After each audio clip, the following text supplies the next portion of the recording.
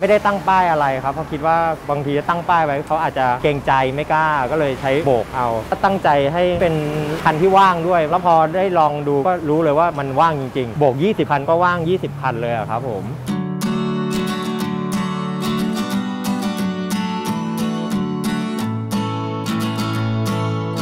สวัสดีครับ ผมนัทพงศ์กวีนันทวงศ์นะครับ ชื่อเล่นชื่อเห่าทายาทของร้านวัฒนาพาณิชย์เอกมัยรุ่นที่ 3 ครับผม เปิดมาอยู่ที่นี่ 40 กว่าปีแล้วครับ แต่ถ้าตั้งแต่รุ่นอากงก็เปิดมาทั้งหมด 60 กว่าปีแล้ว ที่ร้านก็จะขายเป็นเนื้อตุ๋นแพะตุ๋นก๋วยเตี๋ยวเกาเหลาครับผม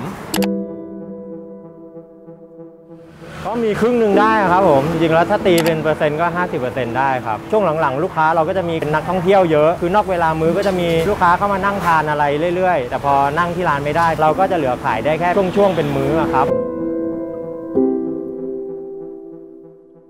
ที่เรายังคงอ่าดำเนินกิจการต่อไป โดยที่ไม่ได้ลดพนักงานหรือปรับลดเงินเดือน ส่วนหนึ่งเลยจริงๆ พนักงานของเราส่วนมากอยู่ด้วยกันมานานแล้ว รู้สึกเหมือนเป็นครอบครัว แล้วเขาเองก็มีครอบครัวที่ต้องดูแลด้วย ถ้าเรายังคิดว่าเราไหว แล้วเราไปเอาเปรียบคือไปปรับลดเขาไปเอาเขาออกโดยที่ไม่จำเป็นก็ถือว่ามีส่วนทำให้เขาเดือดร้อนนะครับผม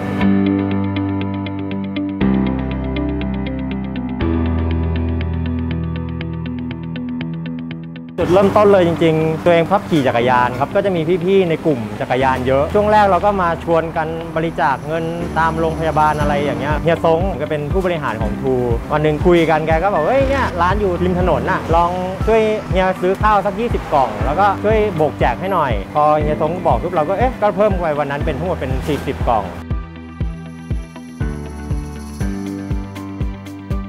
เมนูที่ทำส่วนมากเราจะเน้นเมนูที่มันทานง่าย เน้นเป็นพวกข้าวข้าวหน้าไก่กะเพราผัดพริกอะไรพวกนี้ครับเราก็จะเมนูพวกนี้วนๆไป คิดว่าพี่ๆเขาทานบนรถ ถ้าเป็นพวกก๋วยเตี๋ยวเป็นซุปอะไรมันก็คงลำบากวัตถุดิบแบบเดียวกับที่ขายที่ร้านเลย ไม่ได้ไปซื้อเศษอะไรมาทำไม่มีครับ ร้านเราขายยังไงเราก็ทำแบบนั้นให้ทานเลยครับทำดีคือมันต้องไม่คิดมาก ถ้ามัวไปคิดว่าขาดทุนกำไรมันก็คงไม่ได้ทำครับ คิดว่าทำดีแล้วไม่มีใครเดือดร้อน มีคนได้ประโยชน์ทำเลยครับ ลูกค้าคือกลุ่มที่มารับเยอะขึ้นครับเพราะนอกจากแท็กซี่แล้วก็มีมีวินมอเตอร์ไซค์เขาก็มาคุยให้ฟังว่าเขาก็ได้รับผลกระทบเหมือนกันนะชาวบ้านเดินไปเดินมาแถวนี้เขาเห็นเขาก็มาขอ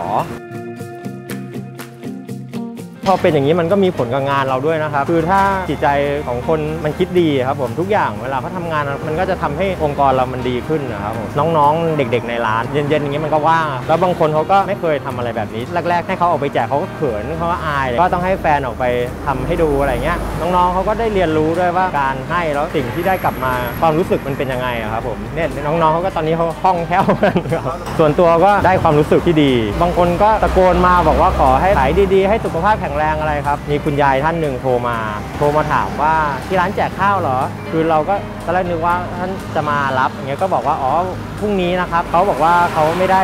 จะมารับข้าว แต่ว่าเขาแค่โทรมาบอกว่า